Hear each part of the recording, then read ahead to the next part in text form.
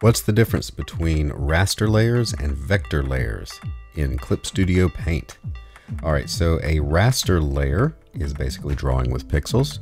To give you an example, I'll just get the pen here and I'll draw a little circle.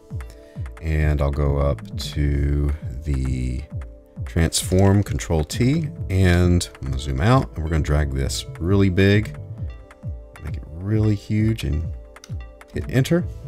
I'll take a second to render because I'm drawing with pixels. It's, and there it goes. And now when we come back in here to a normal size, you can see it's pixely. Kind of fades out a little gray. Now if I do the same thing on the raster layer, what this does is it's actually drawing in ones and zeros.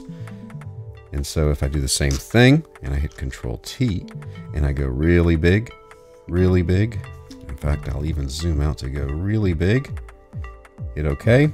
And when I, and see it did it a lot faster. I come in, look how nice and neat that edge is because this is basically computer information telling you what this line is. If I go over here to this vector tool here, control point, it's going to see it. All these different points here are, you can grab and manipulate. You could draw this way. You could draw a little cartoon character or something if I wanted to get like a nose and there's a mouth or something maybe.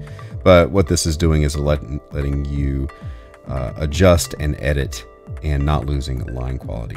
Now, I usually end up using the raster layer rather than that one for drawing. Um, it is, but there are pros and cons either way.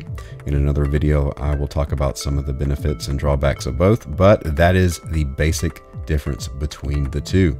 Let me know in the comments if this helped and if there is any other Clip Studio Paint tutorials that you are interested in, and we'll see you next time.